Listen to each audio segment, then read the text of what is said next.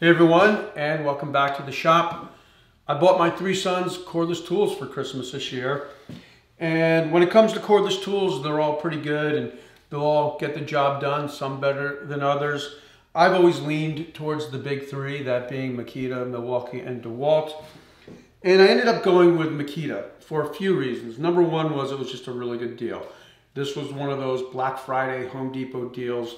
And for $255, I picked up the drill driver combo kit that comes with two 4 amp hour 18 volt batteries, the charger, and the choice of a third tool, but tool only.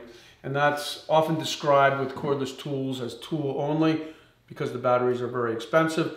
There are a few other tools to choose from. I went with the six and a half inch circular saw because you can really get a lot done with these three tools. And of course the batteries are interchangeable.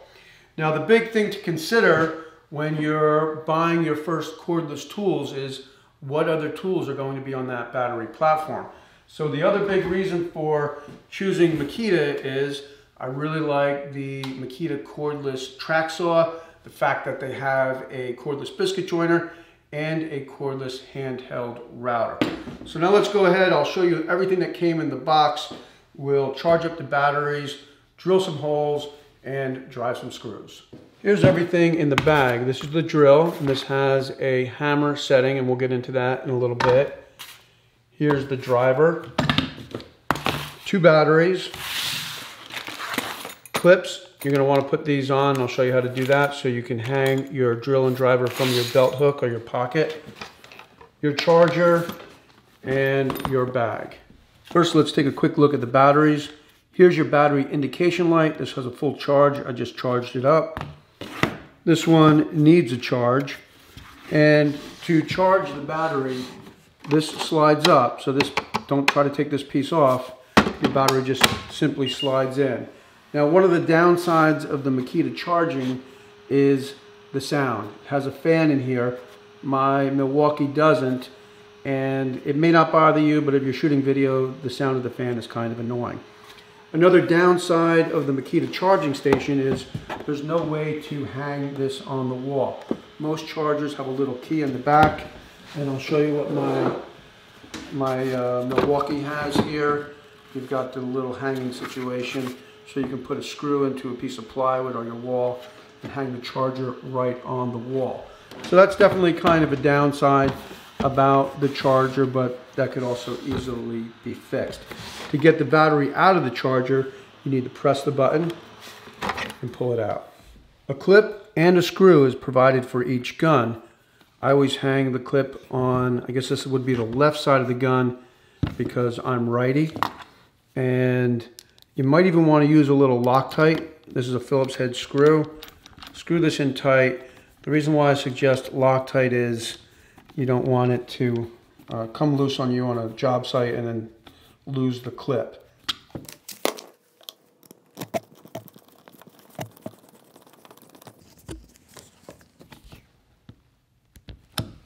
To put the battery in the drill, you're just going to slide it and you'll hear it click in place. To remove the battery, you have to press this white button.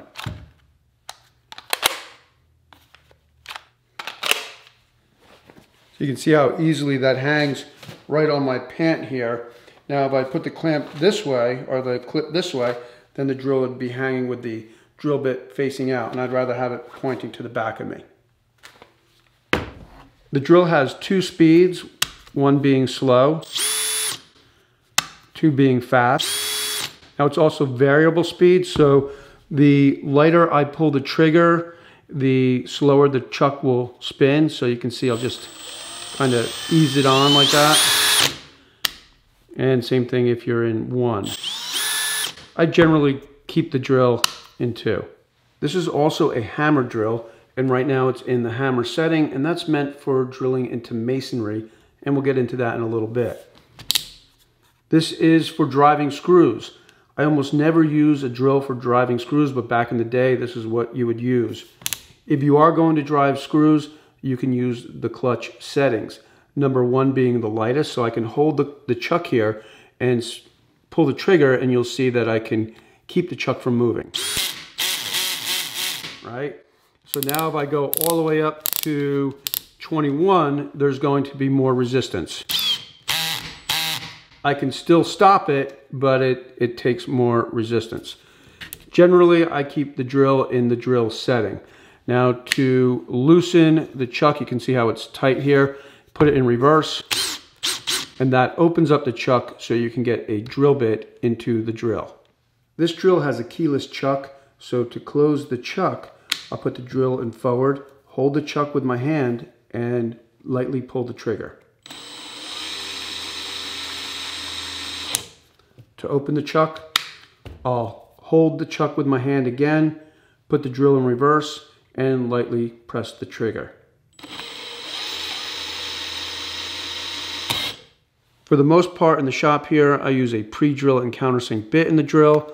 To put the drill bit in the drill, I'm holding the chuck with my hand. The drill is in forward and I'll lightly pull the trigger. And now that's tight.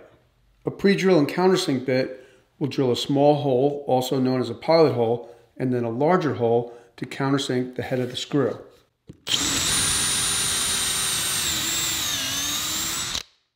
To change drill bits, I'll put the drill in reverse, hold the chuck, and lightly press the trigger. I'll open up the chuck a little bit more since this is a bigger drill bit. Put the drill bit in the chuck and again holding the chuck lightly press the trigger. Another drill bit I like to use here in the shop is a brad point drill bit. This is a very sharp bit and it will drill a hole very fast.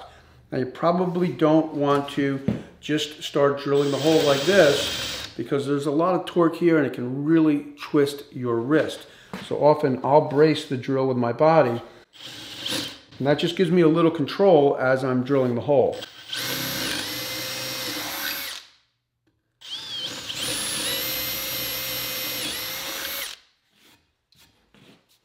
Now next we'll go ahead and we'll take a look at the masonry bit and drilling into this brick here.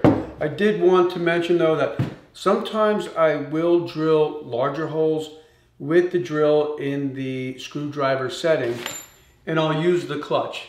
That Sometimes that will protect you and just give you a little bit more control when you're drilling a wide diameter hole because the wider the hole, the more likely this drill will kind of turn and uh, I've hurt my wrist a few times, nothing serious, but enough to know that I don't want to do it again.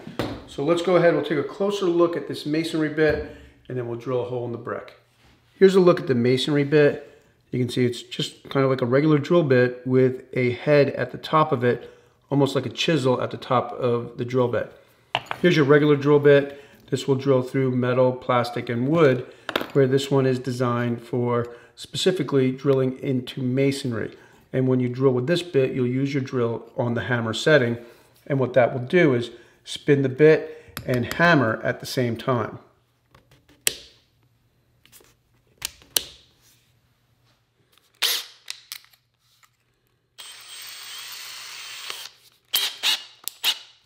I've got the drill in the hammer setting, and you'll notice that the drill is louder.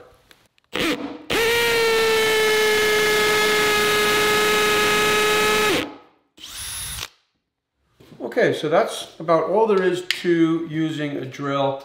Definitely take your time, get comfortable with the tool.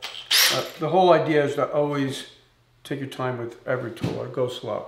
Anyway, I'm gonna take the battery out of this one because I haven't charged the other one yet. Again, I just pressed the white button. This is now the driver.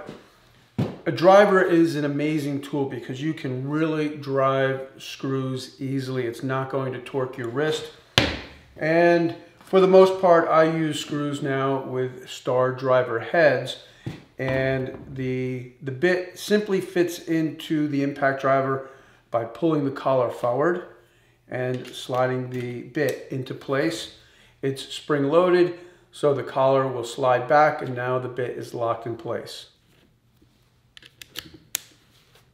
Here I have a three inch screw and you'll see how easy this driver drives the screw.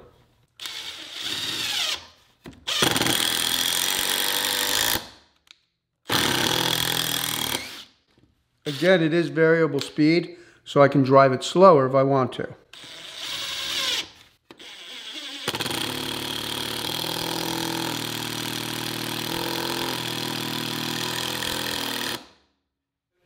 Well, that's about all there is to it when you're using a driver and drill. The main thing is to take some time and get used to the tools. I would grab an old 2x4, drive a bunch of screws in it, forward and reverse, just kind of get the feel of how that ratchet in the driver works because you don't want to drive a screw too far. You want to, it's just kind of a feel thing. You'll just kind of build up a sense of, of what is the right depth and what's the right amount of pressure. Same thing with a drill. Go out and just drill a bunch of holes in a piece of scrap wood. Get comfortable drilling holes. You don't want your first hole to be on an important project. Now, as far as the circular saw is, is concerned, I'll be happy to shoot a separate video on just some of the basics of using a circular saw. Really one of the most versatile tools. It's amazing what you can do with these three tools. This the drill driver, circular saw combination, you're pretty much unstoppable, especially if you're talking about just getting things done around the house.